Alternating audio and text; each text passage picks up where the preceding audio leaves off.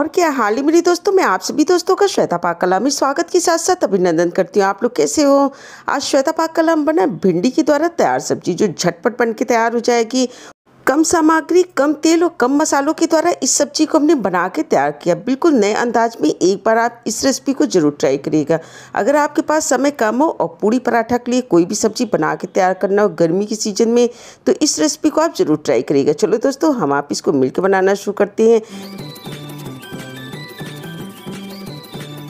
आज की सब्ज़ी झटपट भी बन के तैयार हो जाएगी और बिल्कुल नए अंदाज में बना के तैयार करेंगे। इसके लिए आधा के जी हमने भिंडी लिया था। भिंडी को पानी से अच्छी तरह से दो से तीन बार रगड़ते हुए धुल के साफ़ करके उसके बाद इसको हमने पोछ के तैयार करना है या फिर गर्मी का सीज़न है, आप इस तरह से धुल के थोड़ी देर के लिए भिंडी को रख देंगे तो इसका पानी अपने आप भी सूख जाता है। उसके बाद इस भिंडी को आप छोटे टुकड़े में काट के तैयार कर लीजिए।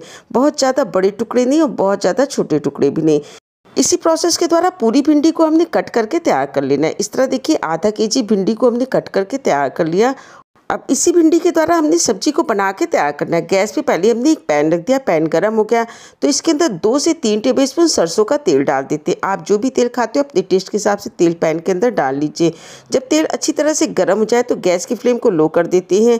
आधा टेबल स्पून इसके अंदर हमने अजवाइन डाल दिया और पाँच से छः पीस इसके अंदर हमने हरी मिर्च डाल दी। चौथाई टेबल स्पून इसके अंदर हमने हल्दी पाउडर डाल दिया। इसको भी अच्छी तरीके से तड़के के साथ मिला लेते हैं। तड़के को हमने जलाना बिल्कुल नहीं। इस तरह देखिए हरी मिर्च भुन के तैयार हो गई। अब इसके अंदर आधी भिंडी को डाल देते हैं और तड़के के साथ अच्छी तरह से मिला लेते हैं। बच्चों को भिट्टी बहुत ज़्यादा पसंद होती है, इसलिए हमने मिर्ची को लंबाई में हल्का सा कट करके इसके अंदर डाला है। आप चाहें तो छोटे टुकड़े में भी कट करके भिंडी के अंदर मिर्ची को डाल सकते हैं। अब जो बची हुई भिंडी है, उसको भी इसके अंदर हमने डाल देना है और डालने के बाद अच्छी तरीके से तड़के और भिंडी के साथ इसको मिला के तैयार कर लेते हैं। भिंडी को पहले तड़के के साथ अच्छी तरीके से हमने मिला के तैयार कर लेना है। मिलाते समय गैस की फ्लेम हमने हाई कर देनी है, जिससे सारी सामग्री अच्छी तरह से मिल जाए और इसका टेम्परेचर मेंटेन रहे। दो मिनट बाद इसको हमने कवर कर देना है और दो मिनट तक ही सिर्फ़ हमने इसको पका के तैयार करना है। दो मिनट बाद कवर को हटा के गैस की फ्लेम को लो कर देते हैं और अच्छी तरीके से भिंडी को हमने पहले मिला के तैयार कर लेना है। गैस की फ्लेम को मीडियम कर देते इसको कवर करके दो मिनट तक हमने और पका के तैयार कर लेना है। पर बीच में आप इसको एक से दो बार ज़रूर चला लीजिएगा कि सब्ज़ी नीचे से जले नहीं। और इस तरह देखिए, इसको पकते हुए दो मिनट हो गया है।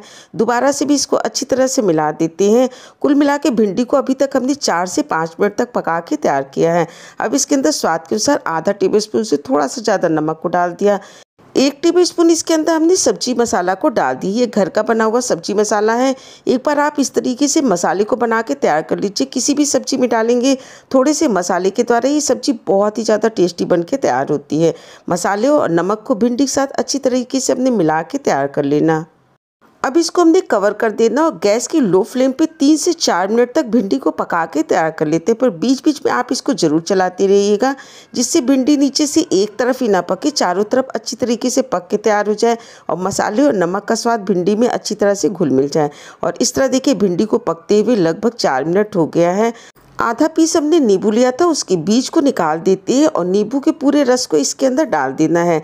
डालने के बाद इसको अच्छी तरीके से मिला देते हैं, गैस की फ्लेम को बंद कर देते हैं। और इस तरह देखिए, कम समय, कम सामग्री के द्वारा ये भिंडी की सब्ज़ी बन के तैयार होगी इस सब्ज़ी को आप सुबह के ब्रेकफास्ट में बच्चों के टिफ़िन के लिए या फिर दोपहर के खाने के लिए बना के तैयार कर सकते हैं। एक बार आप इस रेसिपी को ज़रूर ट्राई करिएगा। अगर रेसिपी अच्छी लगी वीडियो पसंद आए तो लाइक शेयर सब्सक्राइब करना बिल्कुल नहीं भूलिए। स्वाद के साथ साथ सेहत का पूरा ध्यान रखिए।